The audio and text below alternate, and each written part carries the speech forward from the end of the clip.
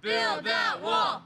Build that wall! Throughout President Donald Trump's run for presidency, he had a goal in mind to build a wall on the Mexican border. Today, that seems almost a reality. This is Joey Mitchell, and you're listening to Skills USA News. Trump's idea of keeping illegal immigrants from America is to keep them out with a wall. Before, the border was fenced for 600 miles across the Mexican border. On top of that, Border Control security would catch anyone going over the fence. Trump has in mind to build a 1,900 mile wall across the border. The cost of the wall in total would cost $45 billion.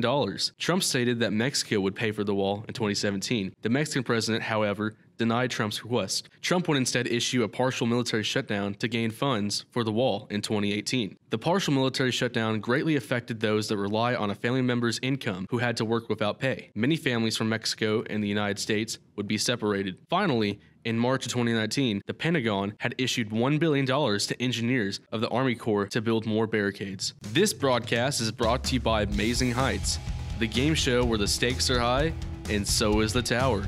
Five contestants can win up to a million dollars. Many of the challenges will test your mind and will. Hosted by no other than Danny DeVito, world famous actor. Many will fall, but only one will come out on top. Watch the series premiere this Wednesday only on Fox 23. Hunter Reed caught up with Brad Hanselman, director at Tulsa Tech Riverside, to get his thoughts on Trump's border wall. I asked Brad Hanselman questions on how he believes the wall is affecting Americans socially and economically. There's not a simple answer to this. There's it's a wide range uh, because it depends on what your background is, what your social persuasion or your political persuasion is. Really, economically, uh, a wall I think would protect American.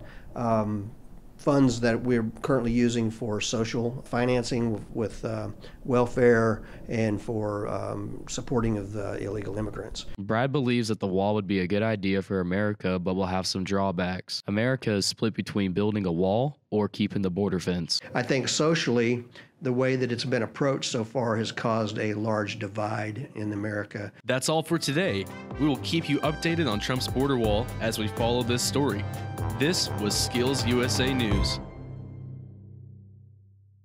This broadcast is also brought to you by Skills USA.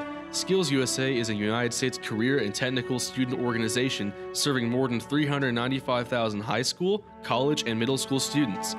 Enroll in training programs in trade, technical, skilled service occupations, and health occupations.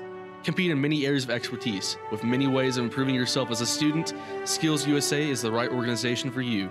Skills USA, preparing for leadership in the world of work.